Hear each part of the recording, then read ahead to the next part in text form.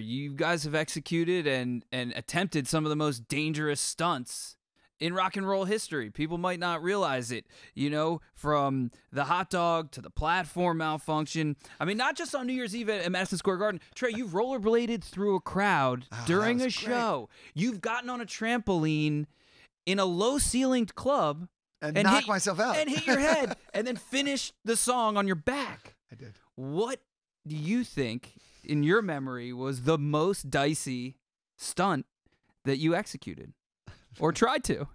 Daisy stunt.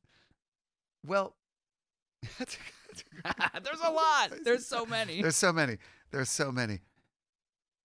Well, stunt. Funnily enough, I might have to cite. Well, okay. The most dangerous, honestly, was, and this is a funny story that the band members know, but nobody else does.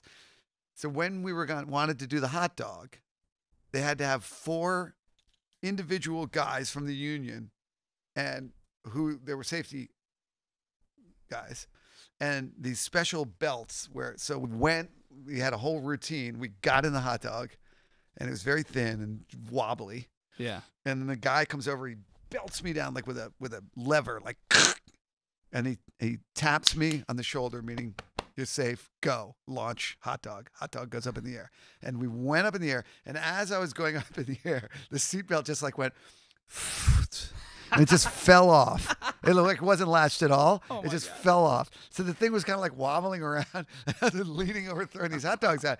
No safety, no safety of any Attached kind. to nothing. no, Oh my God. nothing, and very high. That was really high. Dude. I was just leaning over, like so I was like just hanging on, but it was a very wobbly hot dog. So that was probably the most dangerous.